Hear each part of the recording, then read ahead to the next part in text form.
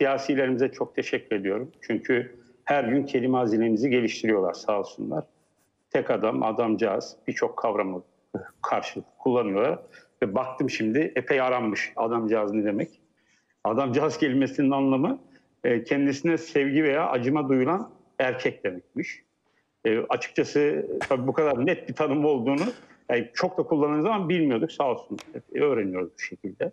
Şimdi tabii bunun başladığı yeri biliyorsunuz. Ülkenin tek bir kişi tarafından yönetilmesi olarak bilinen tek adam.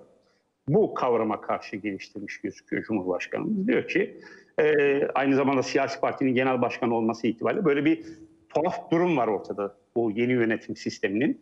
Çünkü Cumhurbaşkanı ile siyasi parti genel başkanlığı kimliği birbirine karıştığında e, yani benim hiç düşünmediğim, istemediğim bir sonuç ortaya çıktı.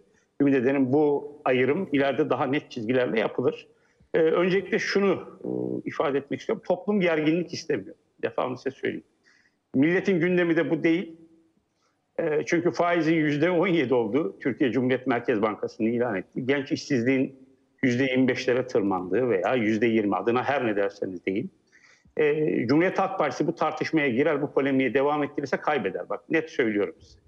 Çünkü Cumhuriyet Halk Partisi'nin gündemi AK Parti olmamalı, millet olmalı. Yani net, neticede e, burada bizim e, hakikaten milletin gündeminin e, bundan çok başka olduğu ve Sayın Cumhurbaşkanı'nın şimdi e, bu e, tartışmayı başlatmak suretiyle ki arkasından mutlaka birkaç Cumhuriyet Halk Partili gelecektir. Nitekim Cumhuriyet Halk Partisi'nin sayın sözcüsü açıklama yapmış, gecikmemiş sağ olsun.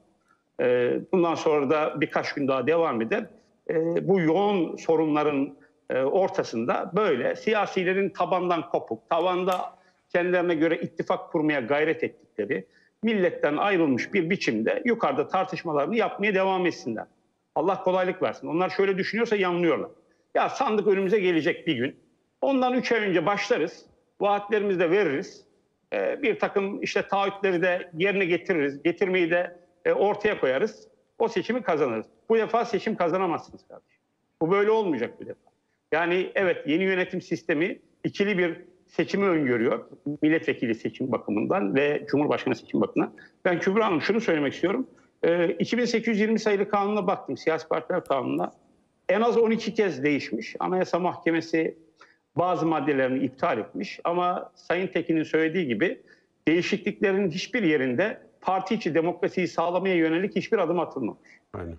Ee, bu 1983 yılından bu tarafa yürürlükte olan siyasi partiler kanununun kadersizliği. Hı hı. E, Türkiye Cumhuriyeti'nde e, yönetim istikrarı adına temsilde adaletin e, maalesef feda edildiği, şimdi bir seçim sistemi değişikliğine gidileceği söyleniyor.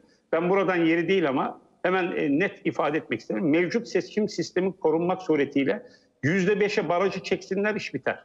Bakın ülke genel seçim barajını hiç uzamaya gerek yok uzatmaya. Yok dar bölge, Doğru. daraltılmış bölge. Bunların peşinden gitmeyin. Gerek yok. Ha sıfırlayabiliyorsan, cesaret ediyorsan onu yap. Ama yapamayacaksan yüzde yedi değil, yüzde beşe. Yani amaç burada e, temsili demokraside mümkün olduğu kadar vatandaşın oyunun sandığa oradan da parlamentoya yansımasıysa samimiyseniz gelin bunu yapın. Yani gelin yüzde beşe çekin. Bunu da konuşalım aslında bu e, programda. Ee, şöyle, çünkü şöyle, MHP yüzde yediye çekilsin. Hatta şöyle, şöyle de, parti devam, yani ittifak içinde de bu baraj uygulansın e, diyor. Yani tam yüzde yedi Sayın Bahçeli ifade etmedi çift, ama çift, e, kulislerde yedi istediği söyleniyor. Zaten çift, çift baraj kuramazsınız. 1995 yılında Anayasa Mahkemesi çift barajı iptal etti.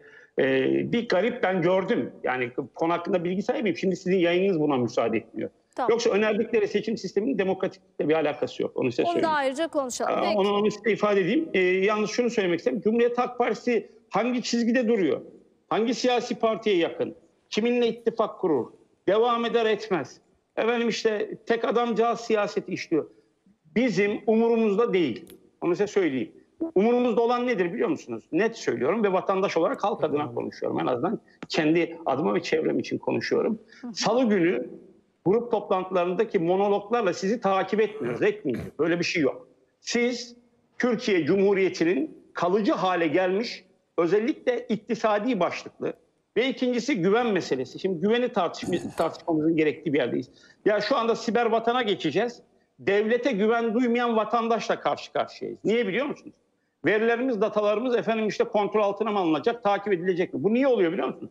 Vatandaş gidip o dünya uluslararası şirketlere güveniyor. Oysa güvenmek mümkün mü onlara? Bunlar beş şirket şu anda önümüzde duruyor. Ve o yabancı devletlere orayla orayla o verilerini paylaşmayı göze alıyorlar.